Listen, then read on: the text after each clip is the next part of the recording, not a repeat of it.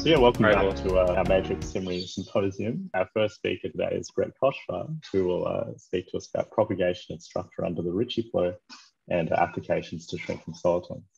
Thanks, Jonathan, for the introduction. Thanks to uh, you and Matt for uh, the invitation. And uh, it's a pleasure to, to be speaking, even at kind of great distance. Um, right, so uh, I thought today that what I would talk about is kind of a mix of um, some of old and new work, kind of a similar theme. Um, and so generally kind of the, the theme is somehow that that theorems about propagation of, of, of geometric structure along the flow have, have applications, sort of have applications to uh, the study of uh, geometry of, of, of, shrinking solitons. Sort of the basic kind of organizing principle sort of, I think, is that um, the flow is a, a, geometric flow, right? So it should preserve what special properties a, a metric has, special geometric properties a metric has, and uh, as a heat equation in some sense improve them.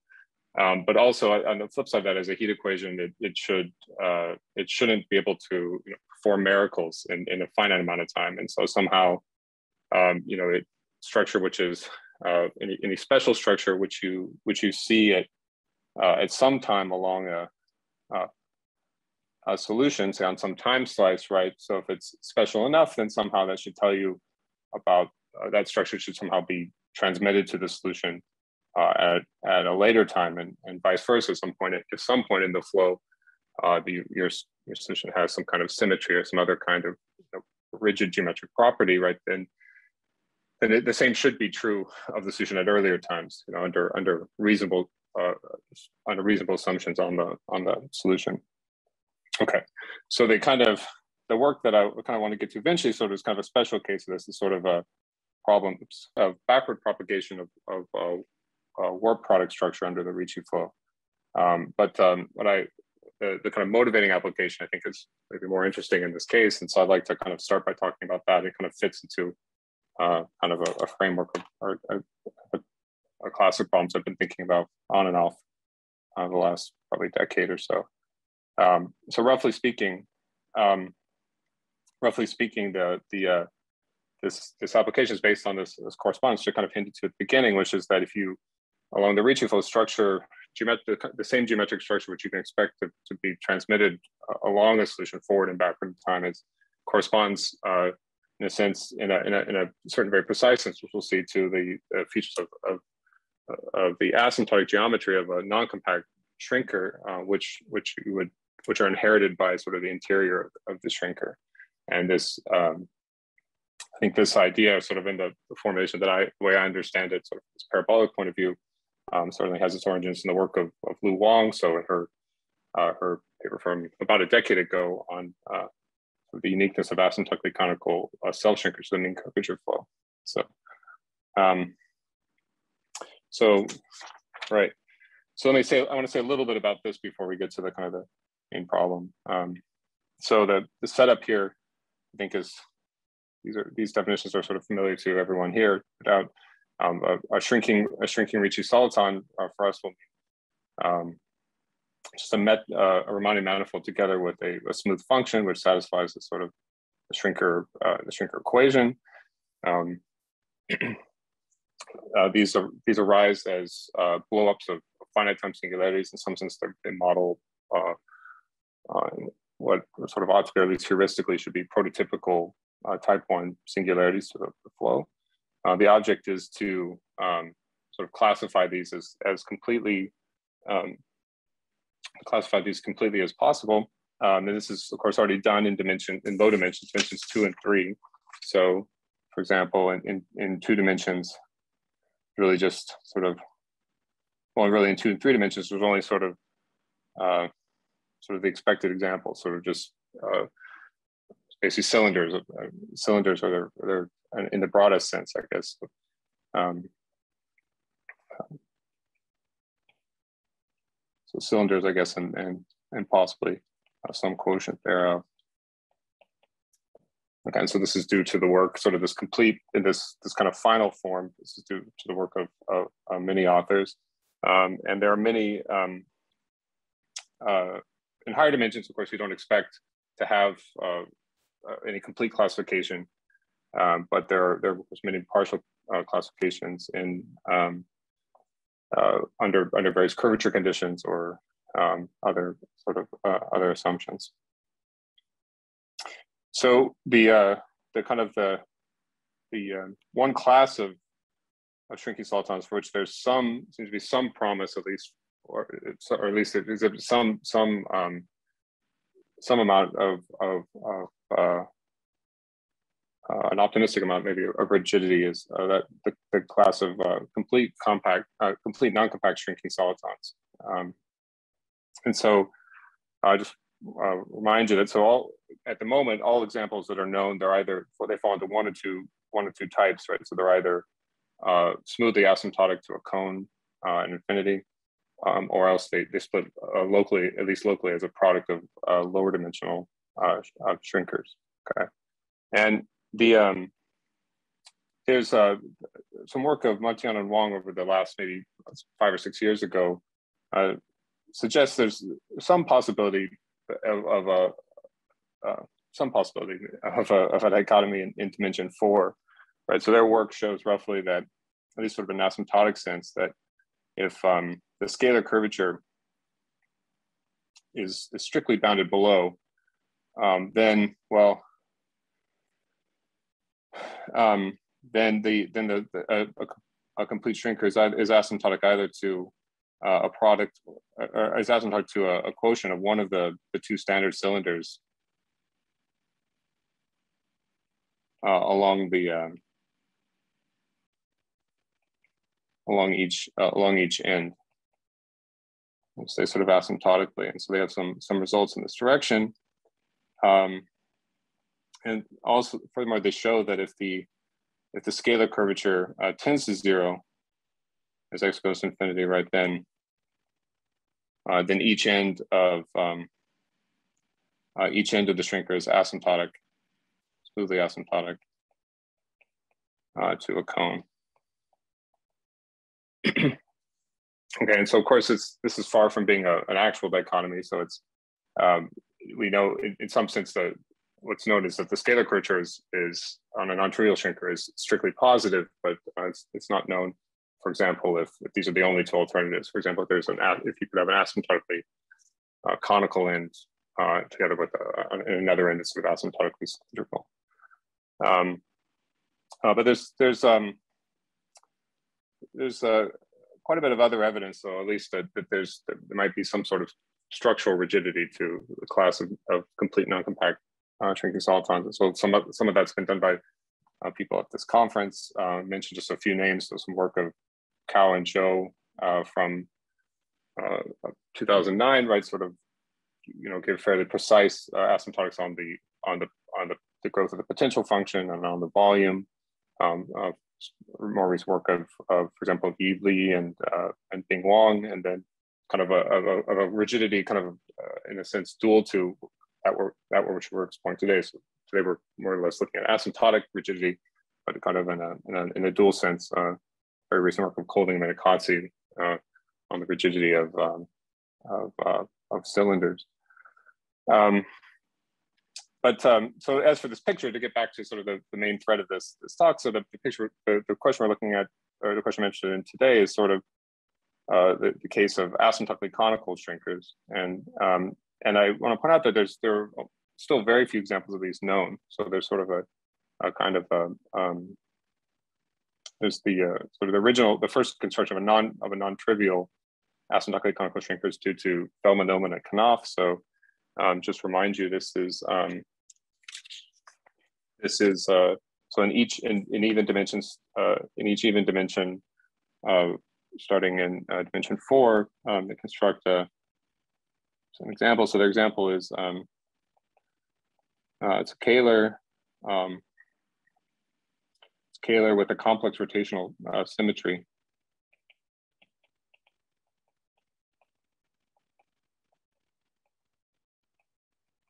It's on, uh, sorry, on the tautological lens bundle. Um, bundle over um, over uh, CPN minus one and then these examples were, were shortly thereafter, shortly thereafter uh, uh, generalized to um, in, in, kind of some independent work to uh, by Dancer and, and McKenzie Wang and uh, Bo Yang.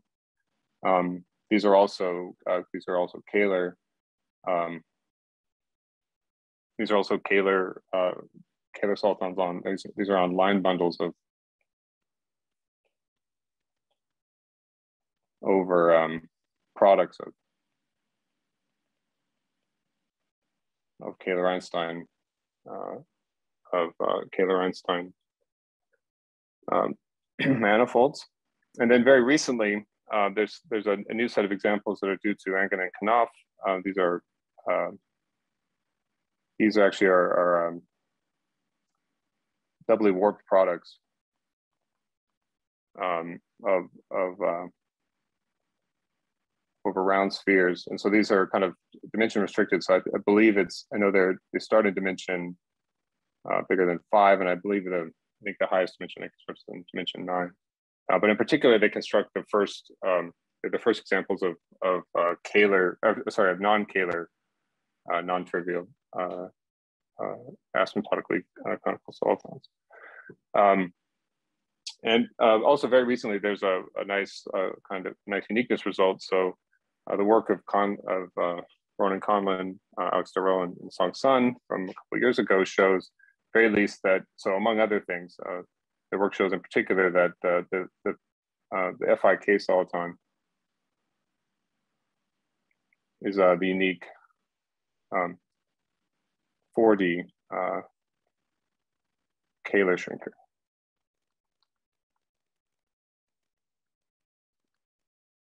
Apologize for my, my handwriting. So you see why I opted to leave some of the text in, in the notes. So uh, 4D is a 4D Kähler, uh, asymptotically conical Kähler shrinker. So okay, so kind of the, the basic question here. First, first of our questions are, you know, what are uh, a motivating question? What are the complete uh, asymptotically conical shrinkers? Um, particular, you know, can we is is it possible, you know, is it possible to classify uh, the, the complete four-dimensional asymptotically conical uh, shrinkers? Okay, and so to do this, we're going to look a little bit. Uh, let me introduce a little more notation. Uh, I'm going to kind of I'm going to introduce this, uh, describe in some greater detail this correspondence I was mentioning in the beginning of the talk. But let me just establish notation. So in this, talk, I'll kind of use. Um, so sigma sigma is going to denote a, a closed uh, closed n minus one dimensional manifold, and then I'll denote the, the cylinder um, the cylinder over over sigma by uh, by uh, c sigma, and we'll we'll uh, consider the, the conical metric uh, over over c sigma, and then uh, for short, I'll just write um, c sigma will just be a G hat. So C sigma will denote the cone over over sigma. Okay, so and the starting place for for uh, what, what comes next, or at least in this in this uh, in this talk, is uh, some work uh, uh, I did jointly with uh, Lu Wang some almost again almost a decade ago. Um, this is um, the theorem. Theorem says that if you have two uh, two shrinkers which are uh, asymptotic to uh, uh, the same cone along some ends of, of the solitons, then uh, the two the two um, uh, the two shrinkers have to be the two metrics are actually isometric near infinity on, or at least on a neighborhood of infinity on, on these ends. Okay, of course this is a um, so this is a, a, a theorem, a, a Ricci-Flow analog of a, theorem um, proven for by Lu Wang um, for for self the mean curvature flow. Okay, and so in particular, um, this um, this uh, this says so if even though we have this kind of local statement, the, the statement is is is is local to the end of the the ends of the, the shrinkers. Uh, the, shrinkers themselves don't have to be, the, the, underlying manifolds don't have to be complete or, or have any restriction on the a priori restriction on the number of ends. Um, if they happen to be complete, then the very least you can say they're universe, uh, the universal covers are, have to be isometric. So it's just a standard analytic continuation and says um, sort of, it says effectively, um, uh, that an asymptotically conical shrinker um, is, uh, I'm going to put in the kind of a weasel word here. I'm going to say essentially, uh, essentially determined um, by its asymptotic cone. I'm going to come back to this point later, but more or less this says, more or less this says that, uh, you know, basically the, the uh, a shrinker is, uh, an asymptotic conical shrinker is determined by its cone. And so then the questions you can then ask, you can rephrase this original question is, you know, which, which cones can occur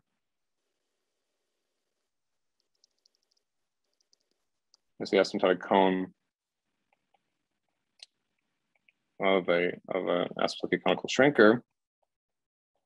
And and as a first step in this direction, you can then you ask you can ask, you know, if uh, if a cone is um, if a cone is to, place any any sort of restriction on on the on the shrinkers to which that are or I guess the uh, to the shrinker um, uh, which is asymptotic to it.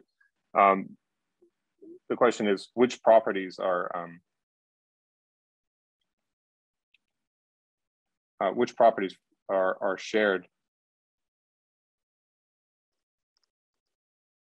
uh, shared by cone and shrinker. And in particular, we're interested in those in those properties of the of the shrinker, which you can read off by by looking at the cone.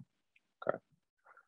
Um, okay, so we're building up to this building up to this correspondence. Um, I, uh, for this, I just want to remind you a couple details of the, the, the proof. So the the idea, I think the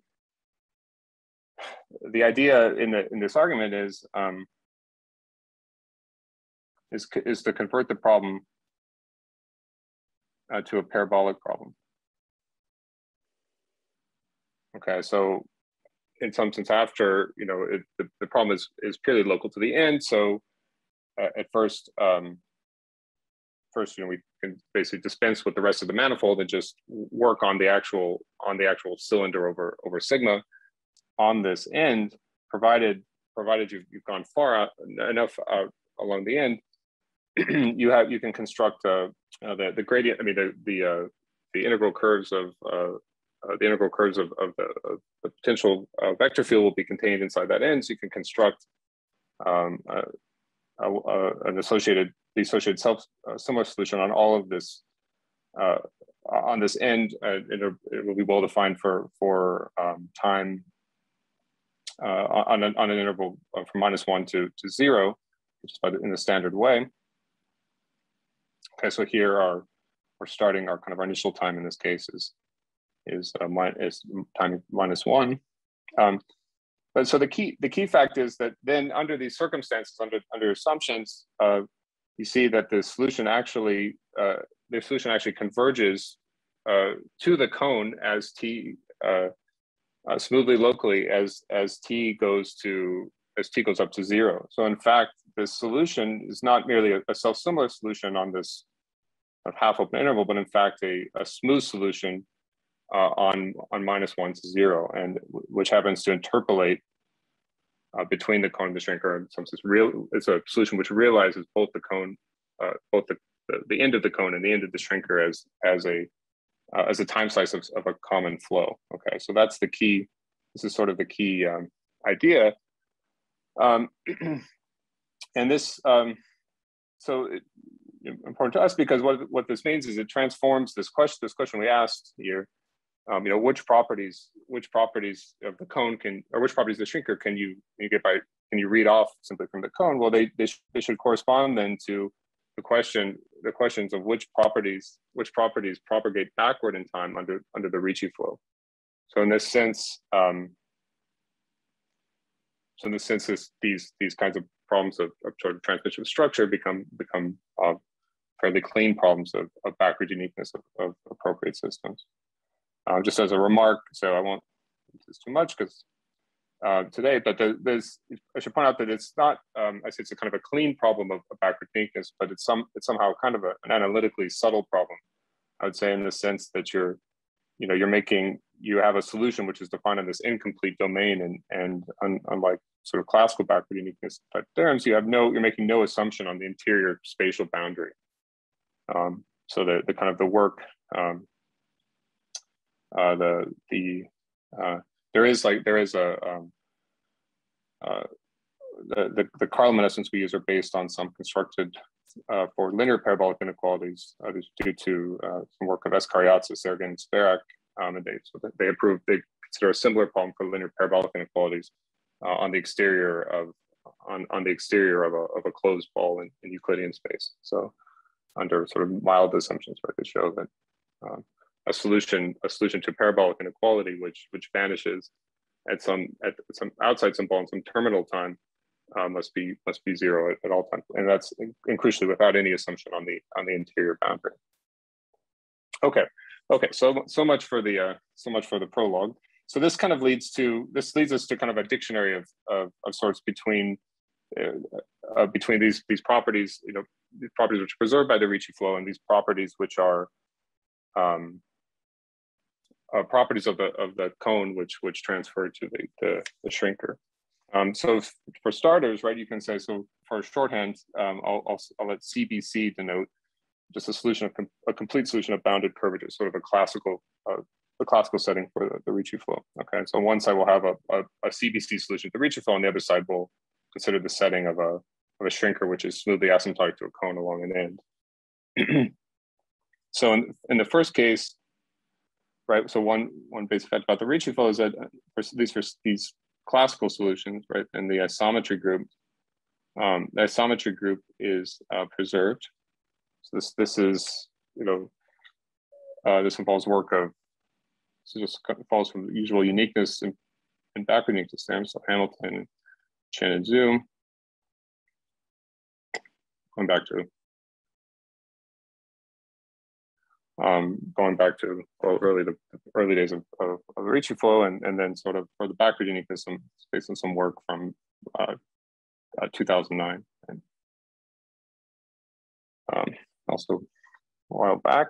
Um, so corresponding to this, right? So that if we have so so if if if if symmetry somehow propagates forward and backward along the Ricci flow, then there should be a corresponding statement for uh, for uh, for shrinkers. In one case, there's sort of an obvious, there's an obvious case if you have, if the shrinker has some kind of symmetry, well, of course, just sort of, just by continuity, right, you expect the cone should, should receive this. Uh, um, sort of, I think the more interesting is the opposite direction. So, so we can say in this case, example, that um, the cleanest way to say this is that the isometry group of the of the link um, has to embed in the or will embed in the end or will embed in, in the uh, on some neighborhood of infinity of the end. Okay, and so this is this is um, in part from work a little long enough from 2013 and sort of this particular statement. We did a bit of a refinement of that. Um, this is uh, which we did in, in 2000, uh, 2018. And uh, under some under some additional conditions, so um, under some additional conditions, you can actually argue that the the isometric group of the of the the link will embed inside the entire um, the uh, inside the isometric group of the entire shrinker. So this this gets back to this this this point I, I raised before. I kind of I said that somehow this the um that the we only kind of know that the end of a shrinker uh, essentially or sorry the uh, an asymptotic conical shrinker is only somehow essentially determined by the by the end of or, or by its, its, asymptotic cone. And this it gets to the sense is that we don't it's, it's not the case we don't know at the moment. I, I don't know an argument, a full argument of the fact that if you have two shrinkers which are asymptotic to the same cone at some end, then they're globally isometric. And so um, one case, one situation in which you you do know this is uh, when when the shrinkers are Kähler. In this case, what it in this case, what you you have a this result of uh, Munteanu and, and Wang, which says a Kähler shrinker is a complete Kähler shrinker is connected at infinity. And this is something you can apply to the universal cover and, and somehow you you can extend, you can, this, this permits you somehow to extend the isometry, this, low, this isometry between the ends to the, uh, to the rest of the shrinker. But this is something, uh, as far as I know, we don't, uh, we don't have it in general. And something that would follow, for example, if you could prove that, that an asymptotically conical soliton uh, has, uh, has at most one end. Okay, so in one part of this, actually, just as a side, maybe it's not really worthy to give uh, to, to know, but I'll just maybe I'll just point out here that so key a key detail in this latter fact is that um, uh, uh, is is the real analyticity of of the kind of the common real analyticity of of well the real analyticity of the the the link of the cone, and the fact that the the, the um, both the cone and the and the, the shrinker are both somehow real analytic with respect to the same atlases, right? And so this this you can also see this through this correspondence, right? So we know um, in this case that MGT a CB's solution, in fact, any smooth solution is real analytic in space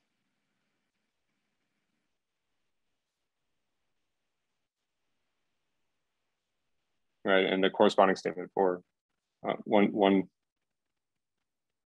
uh, corresponding statement for cones is that well, in particular the the um, the link of the cone uh, must be real analytic. Right? So particularly you get you can see that some there are there are some um, some manifolds which cannot occur as the link of the of a of, of a cone of a uh, asymptotically conical shrinker. Okay, and then quickly also, you can ask what other what other sort of structures generally preserved along the flow? Well, one of these, uh, another another one is the the holonomy of um, of a solution. Okay, and so this this is um, so sort of a I think in forward direction is, is a classical theorem due to Hamilton. Maybe others sort of aware from from 1906, and then some work you know in the backward direction. Sort of it's a sort of a separate problem, but um, approved in, in, 2011, then also uh, refined a bit with uh, my student Mary Cook um, a couple years ago. Um, so from the statement that the holonomy of, of a solution is preserved, right, that you can, or, or from the, the, kind of a, a corresponding application to uh, to Schrinker-Sultan is that, for example, if if the cone if the if the cone is Kähler, right, and then then the um and the manifold is then the shrinker itself must be Kähler. In fact, um, so I'm saying here globally Kähler if if the, if the solution is complete. So somehow these these these sort of so basically for any any of these properties, these sort of common properties which are preserved, there's sort of a we have some corresponding statements uh, for uh, for uh, about the relationship between an asymptotic conical shrinker and its cone. Okay, um, so the kind of the starting point for this this work or the, the work like to discuss is you know what what more can you say, right? So in some sense, I think I've exhausted at least my knowledge. This these are sort of the these are really the the main properties of, of a solution, which geometric properties of a solution, which are are are preserved for are preserved in general along the Ricci flow. And so the question is, can we, you know, can this method be squeezed to give us any more information, uh, any more information about asymptotic shrinkers? And so for starters, you might ask yourself the question, suppose, suppose sigma is a product, is a metric product.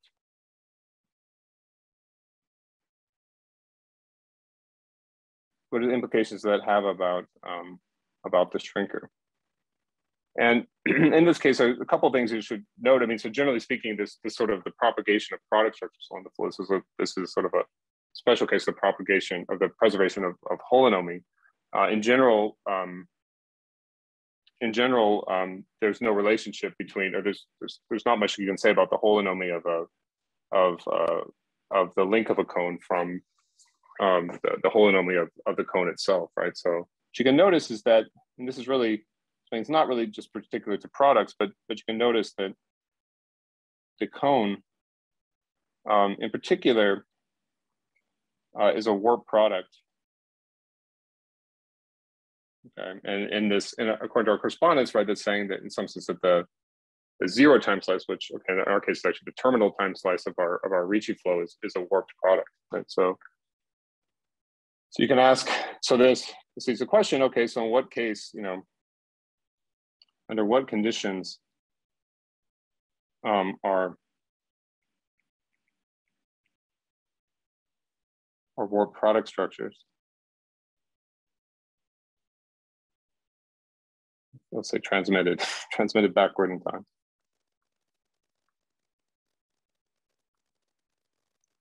One remark's probably uh, most of you are, are familiar with, if a solution, right, is if a solution is a warped product with respect to a solution to Ricci flow is a, is, is a warped product with respect to some you know a, a, fixed a fixed product structure, a fixed metric on the fibers, right? Then um, then in fact the, the fibers have to be Einstein. So this already, you know, we in, in, it's not the case. Um, of course, it's not the case that warp products uh, uh, that warp products are, are, preserved in general forward in time under the flow, and so we, it's our, it's only only under very special conditions are these are these transmitted. Um, and so, you, of course, we could already see that just by looking looking among the examples, right? So we, there are examples in just in the, the family of, of Angenent and Knopf, right? You have, you have solutions doubly warp, things which are doubly warp products, which are, um, uh, of course, which are asymptotic to cones, which are sort of singly warped products at, at time zero. So we know somehow there has to be, uh, we can't expect too general of a, of a result. Generally speaking, for forward time, for forward time, okay, I should say, you know, for reasonable solutions, this condition is also sufficient. So, so for for for the for the forwards Ricci flow, if you have a provided the, the initial time slice is a warp product with with Einstein uh, uh, Einstein fibers, um, uh, the, the flow will continue to uh, remain a warp product, right? And so that, that kind of tells you in some sense what, what we should expect in backward time. So that's that's going to be kind of this model theorem. So I'm gonna let me let me just um, go ahead and just introduce a little bit of notation. So start with start with this. So we'll use the um, sort of notation generally for a so notation in, in Besse. So in this case, our in our in our setup, we'll have we'll consider kind of a global product of of of two manifolds, so base manifold and a fiber manifold. Um, denote this uh, the center, the projection by pi.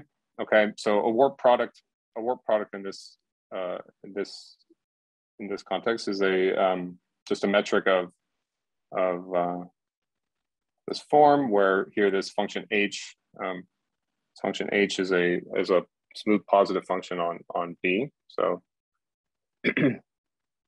so um, our our model results, sort of by analogy with uh, uh, with the forward direction, is uh, following. So um, suppose you have a, a, a, complete solution of bounded curvature Ricci flow on, on some interval. Um, suppose that the and assume that the fiber is Einstein, and okay, if if in the case of B is non-compact, um, uh, we need an additional condition on this warping function. So this amounts to uh, basically that the, the, the, the gradient of the log of this function is bounded. So this amounts to basically requiring that the, the mean curvature of the of the of the uh, of the of fiber slices right is uh, is bounded. And then in this setting, um, if if your solution has the, the, the, structure of a warp product at, at the terminal time, right, then in fact there are um, uh, there are uh, then it has that that structure for uh, all previous time. So there, there are smooth families of metrics on the base, and uh, a smooth family of metrics on the base and a smooth family of, of positive functions on the base, right? Such that we have the following representation. So, okay, so this sort of our prototype there, right? So one one um, one corollary I should point out here that kind of follows immediately is is that um, uh, in, in, fact multiply warp products of multiple warp products with Einstein factors propagate backward also backward along the Ricci flows. So something you can get to sort of by applying the isolating each of the, the fibers in, the, in a multiply warp product and, and applying the theorem to the uh, um, the, the uh, using what's left as as the base, sort of iterating this. Um, Sorry. Okay. So as yes. Is this a is this a theorem then? The model. Yes. yes okay.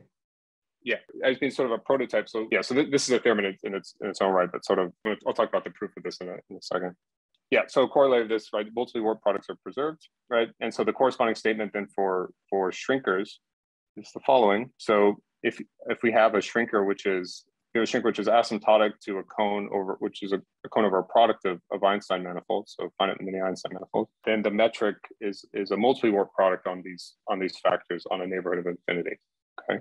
Okay. And so I say this the reason I call this kind of a model theorem in the sense is that so the um the framework uh what I'm, I'm, really interested in setting up with it is not so much this particular result, which uh, uh, by itself, but somehow just the, the, the with the framework uh, which we need to prove the theorem, which is the kind of which captures in some sense or measures the the failure of a metric to be to be a warp product, right? Then we can we can that that same system, as we'll see, can can then be uh, um, kind of uh, can be uh, used in other um, in in, uh, in these other settings. In particular, in this setting, uh, can be can be uh, applied in conjunction with the backward theorem on on it's got a shrinking soliton background.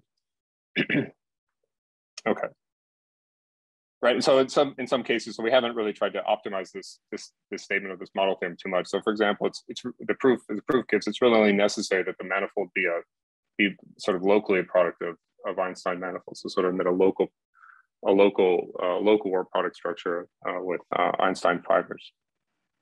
Okay, so I just want to point out that the, the kind of the, the issue in this, so this, what I mentioned in the framework is that, well, there's, there's sort of a natural framework to study the forward propagation of, of these kinds of structures. So, so for, so this, this equation, if you, if you, uh, using this equation sort of a, an ansatz, right? You, you get, you get a system, um, you can, you get a system for the, the, the metrics on the base and, and uh, the warping function.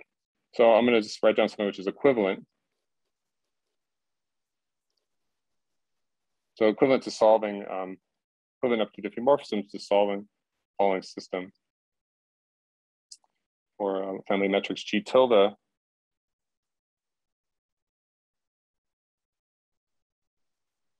And a function U tilde.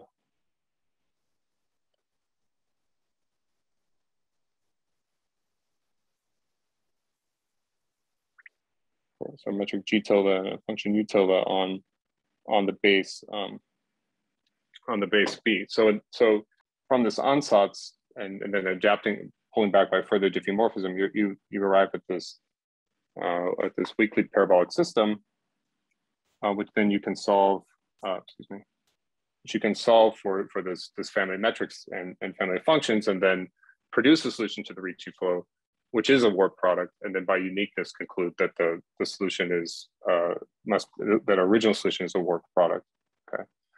Um, so the kind of the key point, the key point here is that in this in this case, this ansatz doesn't really help us, right? So uh, in this case, the we were faced with solving a terminal value problem associated to this this system, right? And so uh, this problem is ill posed, so we need to somehow capture um, we need to somehow capture the uh, yeah, we need to somehow capture the, um, or, you know, somehow measure the deviation from our solution being a warp product in, in some other way.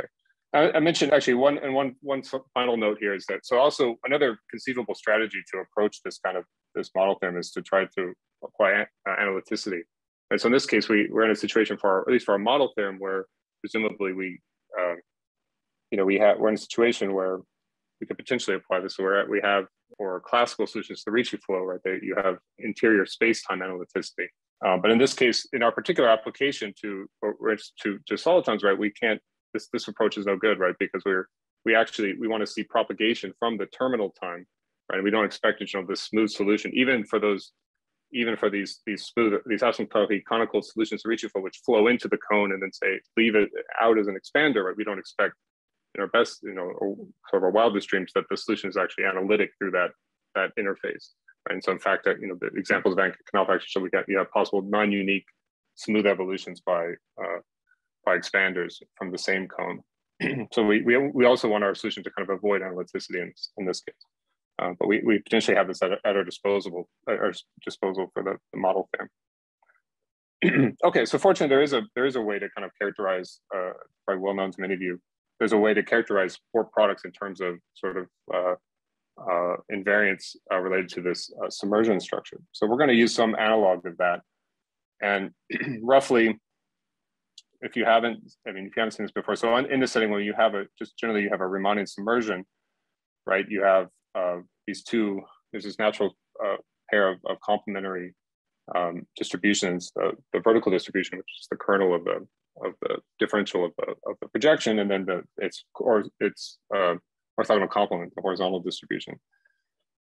And so um, I'm going to kind of So using kind of fancy V and fancy H to denote these, uh, these distributions, I'll use just regular H and regular V to denote the projections onto those um, onto those um, subspaces. and so we can construct these these tensors. So this these tensors uh, uh, A and T. So A somehow measures the the integrability of the horizontal distribution. T roughly corresponds to the or roughly corresponds to the, the, the second fundamental form of the of the, the fiber slices.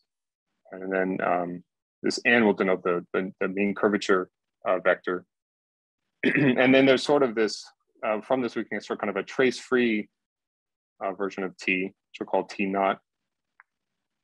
Uh, it's noted by that. Let me just, this expression here. So we'll just kind of pull off, uh, it's kind of its vertical, uh, its vertical traces. This is more or less what's in uh, Besse. But basically, if you have a submersion, right, then the, the, the vanishing of A and T naught and the normal component of the covariant derivative of N is, uh, is equivalent, essentially equivalent to the, the submersion being lo locally having the structure of a warp product. Okay, so this gives us, these guys give, these gives some tensorial invariants to try to measure deviation from uh, being a warp product. Um, it turns out, it turns out in our case that it's actually not really convenient to work, all right, it's kind of it's uh, the problem's kind of a mess in general, but it's not very convenient to actually work with the fixed submersion or to work with these fixed uh, uh, these fixed uh, um, this kind of fixed uh, vertical distribution. And so what we actually what we do is actually we're going to work with kind of analogs, kind of algebraic analogs of these of these things. So in, instead, we take our what we do is we'll take our initial we take our initial distributions uh, initial, initial, or initial, I should say, terminal distributions, but we take our the, the, distributions at time omega, and we extend them backwards, basically just propagate them backwards uh, by an ODE, by an ODE, and such that they remain uh, orthogonal. So more or less, this amounts just kind of using Uhlenbeck's trick and pulling everything back to some some fixed bundle. Um, uh, but this amounts to just solving an ODE in each of the, the fibers with these projections. Okay, and then we can actually define. So this gives us a family of of uh, of, of endomorphisms, uh, H, uh, H and V. And we can define, uh, at least formally, A, T naught, and, and something I'll call G, which is the normal component of the of the covariant derivative of, of N, um, of the mean curvature. Um, we can define them just by the formulas above. They're still be well-defined tensors on the on the, the manifold. Um, they just it turns out they just won't have all the usual symmetries associated with with ANT. So we won't we'll, we're by allowing our by keeping allowing our our, our distributions to uh, um, to evolve, then we're, we're losing, say, the integrability of, of V, and also um, it's no longer the case that A sort of somehow directly measures the the integrability. Um, okay, but um, and then associated this, so um, so the if you if you just sort of if you compute the evolution equations for for A, T naught, and, and G, right? Well, you you see they involve, of course, they involve the curvature being the being, being a solution to Ricci flow, right? And so, kind of the game in this is to to prolong our system by by throwing in some curvature quantities, which uh, which will give us a closed system of inequalities in the end. Okay, and so here, so basically, you these are kind of a little messy. You don't have to study too much, but in some sense, we're just kind of decomposing or decomposing uh, the uh, the the the Ricci tensor, the covariant derivative of Ricci, and some uh, uh, one some particular components of the of the um, covariant derivative of the full curvature tensor uh, into components or orthogonal to the traces of uh, trace-free components, components that are trace-free relative to this this vertical space. Okay, so this these things all vanish on uh, on warp products, right? And moreover, if I take these three curvature, uh, so here this you don't need to worry about this this notation too much. Is somehow these upper and lower bars represent horizontal and vertical components, but um, just something is, you can think of U as just being something, uh, you know, first order in the in the, the curvature tensor. So if you combine these these things into, you group these things together into pieces, so kind of a higher order piece, which we call X, and a lower order piece, which we call Y. So Y's can consist of A T naught and G, and also the covariant derivatives of A and T naught. Then um, then you get after quite a bit of computation, right, you get a you get a closed system of inequalities, right? So, um, and and now this this result from now uh, we can apply a, a, a, a this general backward uniqueness result from um, proved uh, for for uh, proved along the way to prove the backward uniqueness of solutions to Ricci flow. Um, uh, uses Carleman inequalities, or you can in fact use just kind of energy quotient methods to, to prove this. But you see that x and x and y have to vanish. Okay, and then um, from this, um, in, from this, then in particular, the fact that this m vanishes tells you that the that uh, the Ricci tensor is diagonal. Right? So in particular, it, it uh, commutes with the horizontal and vertical projections. And so you, you see from this that the, these vertical projections, uh, these vertical projections, uh, sorry, the vertical distribution, horizontal distributions are these kind of substitutes. Actually, the vertical distribution actually remains fixed. This is this is why we were kind of cavalier about letting it evolve because we knew we could come back and see that it's fixed. And then from this in the usual way, you you now we can go back and kind of use these kind of classical limits, but now we're working with an actual uh, Riemannian submersion. And, um, and we see that we have this local warp product structure. Um, I should also point out that one advantage of this kind of method too is that it gives you an alternate proof of the, the propagation of, of, of warp product structures, multiple warp product structures forward in time. Uh, it works just as well. You can, with this system of inequalities, you can apply uh, energy methods and, uh, and, and, see that they vanish. Um, okay, then let me just finish here. So for the, the case of shrinkers, right? So as I said, what this, this thing before I was calling kind of a model theorem. Again, what I was most interested in is the framework. Um, so taking the same system and now applying it on a Ricci flow background, um, and actually being a bit less, a bit more careful about the coefficients. So, um, well, we can see that it meets um, these the same system on this Ricci flow background will actually meet the uh, will satisfy the, the hypotheses of a background uniqueness theorem. That sort of this is just a slight variant of, of something that was uh, the one I proved in our uh, original paper. And so uh, this this system, um, uh, you know, tracking these coefficients a bit better. In this case, you know, we need this case we actually have decay of the mean curvature, this sort of stuff. Um, uh, we see that this uh, that well, we get the same result on on a on a shrinking soliton background. Yeah, so that's so that's kind of that's that's kind of how it works. I guess I'm kind of out of time here. Thank you. Oh, thanks, Brett. Are there any uh, are there any questions for Brett? Brett, do you if suppose uh, you have a Ricci flow that flows to a cone at time zero, and it's the cone of a shrinker. Do you know that it the Ricci flow is the shrinking shrinker? It's easy for me to think in the mean curvature flow world, but yeah, I believe that. Yeah, if you have a if you have a solution, so under so okay, let's say under some reasonable, let's say it's sort of prior to flowing to the cone, it's sort of reasonable, right? So somehow it's sort of kind of asymptotic, you know, it's it kind of roughly looks like a cone and then flows in. Then it must, then it then it is just a backward. It is a uh, it is kind of a just a backward uniqueness thing. This you can use this result with Liu and I. So if just the the rescalings in this case, you you can pull the rescalings, uh, these kind of homothetical diffeomorphisms, or right, or dilation maps. These give you a um, this gives you they they work as you know applying the dilation map and then say dividing by whatever the scaling factor squared or whatever. This gives you uh, uh, this fixes the the time zero metric, right? So uh, the time the the cone metric, right? And then so that family now you look at the family of so you then you have a one parameter of solutions to Ricci flow, all which have the same final time. And so then you see that they're all equal by the uniqueness theorem or you know under these assuming these assumptions the uniqueness and then you can then then you can differentiate with respect to that parameter and then um, so that's yeah that's a good question. So so that's one thing that you know what so in fact you know being a cone at time at some time if you have a you know it's, it's a very special property what does it what does it give you? Well this is one of the things it does tell you right that it's all that it you must be self-similar in some sense under under reasonable conditions previously so, so even if you don't know that a priori there's a shrinker that has that cone if you floated right. a cone, then you had to have been a shrinker. That's right. That's right. I see. Yeah. Oh, cool. Thanks. I've got a pretty vague question, Brett. Just wondering whether there are sort of sensible boundary conditions, situations where these kind of backwards uniqueness results might hold. I know uh, if you flow, it's a bit of, hard to do boundaries. What do you mean by boundary conditions? And uh... spatial boundary whether, whether you have a setting where, where you have something with spatial boundary conditions, then you can still do backwards uniqueness. Well, yeah. Well, in general, I guess if you have, I mean, I think if you control the inner boundary, so if you're a subject, there's some some sense, I think if you, um, uh, I mean, well, sort of in the linear case, I guess it kind of reduces to being kind of homogeneous, right, at the the boundary, right? Um, I, I don't know what you mean. Somehow, uh, so in this case, there's no. In this case, we made no. I mean, you're saying if we took, if we you, you assume then this that you.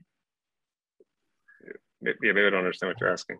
Yeah, well, very vague question, but I'm thinking of, of something like um, Ricci flow with a boundary condition, or instead of having non-compact and asymptotic to a cone or something like that, just having the setting would be, but they have the same boundary, but the two switches have the same boundary condition. Yeah. Right? Uh, presumably, yeah. For yeah. okay. Yeah. Yeah. I mean, yeah. So I haven't thought. Yeah. So for, I don't want to be too glib. I would think you know the standard. There, sort of the, the kind of classical theorems for for linear parabolic inequalities with with uh, you know with, when you have you know, sort of uh, identical, you know, the same boundary conditions. I mean, yeah, I think maybe something like that should be true, but I, I yeah, I know what it's, it gets quite, you know, this Ricci flow of boundaries kind of complicated. I don't want to be too, too glib, but. Uh, yeah, thanks. So thank you again.